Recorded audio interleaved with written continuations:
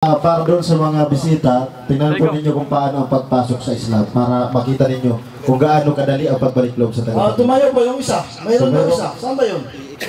O, pasok. O, pasok. Punta ka dito. Tatlo kayo? Oh. Tatlo ka- Ikaw? O, sige, punta ka. Hello. Allahu Akbar. Masya Allah. Allahu Akbar. Kung sino pang matapang naman, tumayo. Ibig sabihin ng tapang na sinasabi ko, hindi ito tapang na pangbubuno o pang re-wrestling. Ang tapang dito yung panindigan natin sa paniniwala. Katotohanan yung pinaniwala natin. So inshallah Brad, ito yung mga tatlong matatapang na binata dito. Allahu Akbar. Magigiti. Inshallah ay ipag, ipanalangin natin nawa ay maging matibay sila sa kanilang pinaniniwalaan. At kung sino pa dyan Brad, ang nahihiya lang, huwag kayong mahiya Brad. Kasi ang pinag-uusapan natin dito, kaligtasan. Buhay natin sa kabilang buhay na pinakamahalaga sa lahat. Dati kaming mga Kristiyano, Brad. Ako dating Kristiyano din. Siyam na taon na nakaraan. Hindi na itatanong sa akin, pero Brad, hindi ko pinagsisihan sa tanang buhay ko ang desisyon na yun. So inshallah, Brad, tinatawagan namin yung mga taong gustong iwakap sa pananampalatayang ito. Ito ay hindi pananampalataya, Brad, na nanggaling lang sa tao, ito yung nanggaling sa tagapaglikha. Ito ang kaligtasan, ito ang magdadala sa atin sa kabilang buhay, Brad. Ito ang relihiyon ng mga propeta. So si Brother Dawood, inshallah ay kami Brad. Ito, si Brother ako, marami dito na nagbalik Islam, bumalik sa tunay na pananampalataya, yung pananampalataya galing sa Diyos. Kaya wag niyong hintayin Brad na ang kamatayan ay dumatal sa iyo bago niyo ito yakapin. Baka ang pagsisisi ay sa bandang huli na kawawa ka. So, inshallah Brad, ini-encourage namin kayo na huwag mahiya. Tanggapin natin kung ano ang katotohanan na magsambalang tayo sa nag-iisang Diyos. tinawag ko na, sabi ko. So, inshallah, Sheikh, ah, ibibigay natin yung pagsasyahada natin, Brad, ito yung kapatawaran ng inyong mga ginawang kasalanan. Sino pa sa inyo? Kung may nakagawa kayo, Brad, ng kasalanan kahit anong krimen yun, papatawarin kayo ng Diyos. Ganun kamahal ng tao, Brad. Ganun tayo kamahal ng Diyos. Sabi ng Allah sa Quran, Kul ya ibadi ladhi asrafu ala anfusihim. La taqnatuna illa rahmatillah inallaha yaghfiru dhunuba jami'a inallaha huwa ghafurur rahim. Ang ganda ng talata na yun, yun ang magliligtas sa atin, Brad. Kung nakapatay ka, kahit nakapatay ka, Brad, papatawarin ka ng Allah. Ang hindi niya papatawarin, Brad, yung magsamba ka ng Diyos maliban sa Kanya. Pag namatay ka sa katayuan na yun, kawawa tayo dun. Pero pag ang tao tumanggap sa pananampalatayang Islam, burado lahat, Brad. Absuelto lahat ng ginawa ng kasalanan ng tao. Kaya inshallah, Brad, saksihan natin, nawa ay magiging saksi ang Diyos sa ating lahat. Sa araw na ito, nawa ay tanggapin ng Panginoon. Pasok natin muna. Ustad Idris, Bilisan mo, bro. Halika.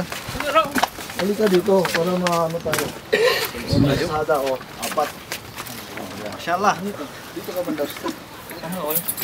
Puro mga cameraman ah. Yung mga cameraman masaya sila. Binata. Marami silang makuha. Binata nung... Oh, sige. Stay. Ibigay mo na.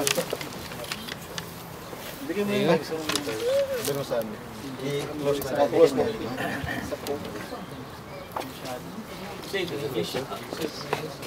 Sundan nyo lang yung sundan. First, uh, I'm sorry. I hope you speak English, all of you. Yeah, yeah. Okay. Uh, Brother you- Brother the Dad, first thing you say is the you Sabdaraman witness there is only one God. No companions, no son, no father, no brother, nothing. Only by himself in his throne, sustaining the world as we know it now. The second term is you witness there is, Muha- there is Muhammad is the messenger, slave and messenger from God.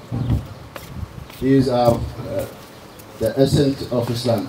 You will enter the arena of Islam with this statement. Then later on, inshallah, you will learn your Islam and your performance. But this is will, will get you in the arena of Islam, alhamdulillah. So please repeat after me. أشهد أن لا إله إلا الله وأشهد أن محمدا رسول الله الحمد لله Allahu Akbar! Allahu Akbar! Isang takbir ang lakas! Allahu Akbar!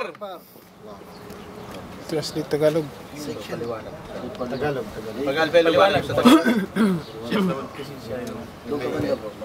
Bismillahirrahmanirrahim. Nauna sa atin. Ah, yung sinabi ninyo mga kapatid, ang ibig sabihin niyan, kayo ay sumasaksi na walang ibang Diyos na karapat dapat sambahin kundi siya na lamang. At kayo ay sumasaksi na si Prophet Muhammad, sumakanya nawa ang kapayapaan, ay pinakahuling mensahero at alipin niya.